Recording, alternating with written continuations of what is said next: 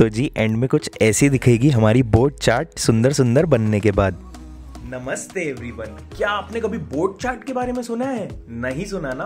आज हम लोग बनाने वाले हैं बोट चाट बहुत ज़्यादा सिंपल रेसिपी है, बहुत ज़्यादा हेल्दी रेसिपी है। हमारा कभी कभी चाट खाने का मन करता है बट क्योंकि लगता है यार अवॉइड कर देते हैं अनहेल्दी होगा, ये, वो, आज सारे बहाने खत्म। आज से हम लोग बनाएँगे बोट चाट और इंजॉय करेंगे।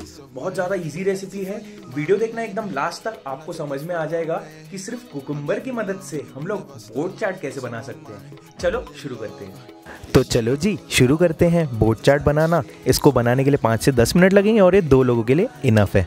सबसे पहले हम लोग एक कुकुम्बर ले लेंगे और उसके बाद उससे बीच में से काट लेंगे। ध्यान रखना इक्वल पीसेस करना। उसके बाद हम लोग जो बीच का पल्प होता है ना, जिसमें बीज वगैरह रहते हैं हमारे कुकुम्बर के, वो निकाल देना है। और कोई टेंशन की बात नहीं है, ये जो भी हम पल्प निकालेंगे, वो हम लोग इसके वेज रायते में यूज़ करेंगे। तो हमारी नो वेस्टेज रेसिपी होगी ये। देखो, कुछ इस तरह हमारा कुकुम्बर दिखना चाहिए एम वाला, जो बीच में से एकदम खाली हो जाए। उसके बाद हम लोग एक ले लेंगे बोल और बनाएँगे वेज रायता। उसके लिए जो हमारा पल्प था कुकुम्बर का, जो हमने कहा वेस्ट नहीं होगा, वो ऐड कर देना। उसके बाद इसमें हम लोग मिला देंगे तीन चम्मच अनियंस अनियंस की क्वांटिटी वेजिस की क्वांटिटी आप अपने हिसाब से एडजस्ट कर सकते हैं।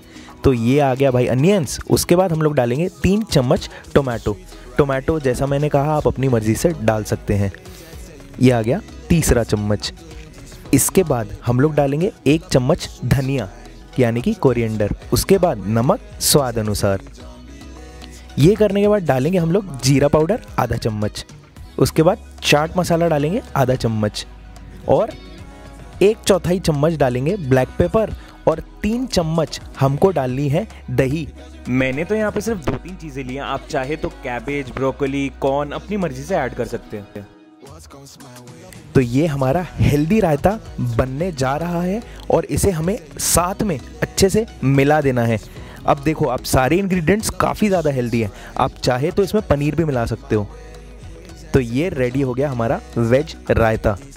तो अब हमने जो कुकुम्बर के बीच में जो होल्स किए थे, जो स्पेस रखी थी, उसके अंदर हम लोग डालेंगे हमारा वेज रायता। जी हाँ यही है कंसेप्ट बोट चाट का।